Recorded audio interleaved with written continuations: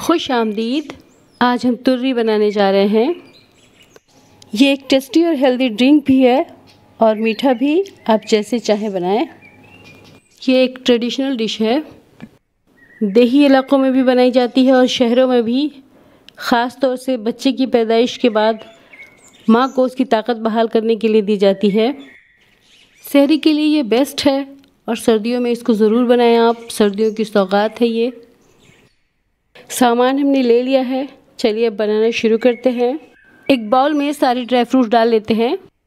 मैंने लिए हैं बारह बादाम, पाँच छुहारे, वन फोर्थ कप दाल मखाने, टू टेबल स्पून पोस्ता दाने,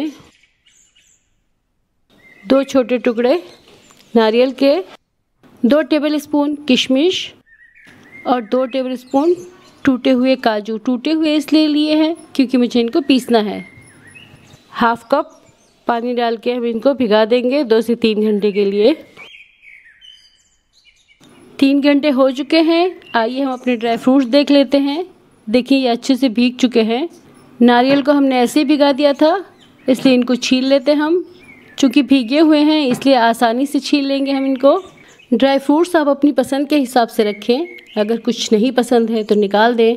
कोई और ड्राई फ्रूट्स मिलाना चाहते हैं तो डाल लें। जैसे बहुत से लोग किशमिश को नहीं पसंद करते तो आप किशमिश न डालें। इसकी जगह आप अंजीर ले सकते हैं। अगर आप पसंद करते हैं तो अखरोट भी यूज़ कर सकते हैं इसमें। या अगर आप चाहें तो सिर्फ़ छुआरे, नारियल, काजू, बादाम ताल मखाने और पुस्ता दाने से ही बना सकते हैं ये। यानी अपनी पसंद के हिसाब से आप ड्राई फ्रूट कुछ कम कर सकते हैं और कुछ ज़्यादा भी कर सकते हैं। छुआरे की गुठली हमने निकाल ली, नारियल काट लिया, अब इसको पीस लेते हैं। अगर आपको तुर्री पतली बनानी है तो पेस्ट को बहुत बारीक पीसें और अगर खीर या फरनी की तरह बनाना है तो थोड़ा मोटा रहेगा, तब भी ठीक है। मैंने बहुत ज़्यादा बारीक नहीं पीसा है, क्योंकि मैं इसको गाढ़ा बनाऊँगी। पतला नहीं बनाना है मुझे। एक सॉस पैन गर्म करें। उसमें वन टेबल स्पून घी डालें। घी को गर्म होने दें। आप चाहें तो ज़्यादा घी भी डाल सकते हैं। चार लौंग डाल दी। तीस सेकंड तक सौते करेंगे। अब इसमें पिसे हुए ड्राई फ्रूट डाल दें। इसको दो से तीन मिनट तक हम भून लेंगे अच्छी तरह। चलाते हुए भून लें आप, ताकि नीचे लगे ना बर्तन में। इसको पीसते वक्त जिस पानी में हमने इसे भिगाया था, वही पानी यूज़ किया था।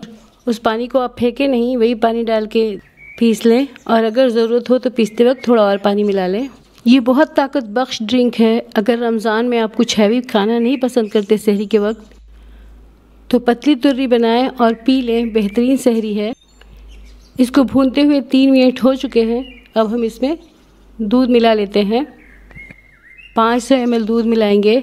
चूँकि मैं गाढ़ा बना रही हूँ इसलिए मैंने पाँच सौ एम दूध डाला है। अगर आप इसको पतला बनाना चाहते हैं तो आप इसमें सात सौ एम के करीब दूध डालें। या आप चाहें तो थोड़ा पानी, थोड़ा दूध मिक्स करके भी डाल सकते हैं इसमें।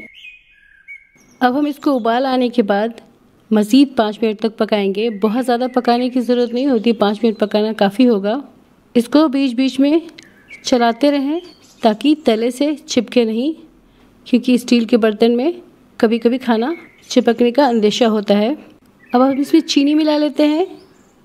मैंने भर भर के थ्री टेबल स्पून चीनी डाली है इसमें। बहुत लाइट मीठा बना रही हूँ मैं। आप मीठा अपनी पसंद के हिसाब से रखें। अगर ज़्यादा मीठा पसंद करते हैं तो फाइव टेबल स्पून डालें। या ज़्यादा भी डाल सकते हैं। चख के एक बार देख लें। अपनी मिठास का अंदाज़ा कर लें। और अगर पतली बना रहे हैं तो मीठा उस हिसाब से रखें। पतली तुरी बनाते हैं हम तो थोड़ा ज़्यादा मीठा डालने की ज़रूरत होती है। पकते हुए पाँच मिनट तक हो चुके हैं। अब हम फ्लेम ऑफ़ करके इसको उतार लेते हैं। देखिए हमारी तुरी तैयार हो चुकी है। अब ये सर्व करने के लिए तैयार है।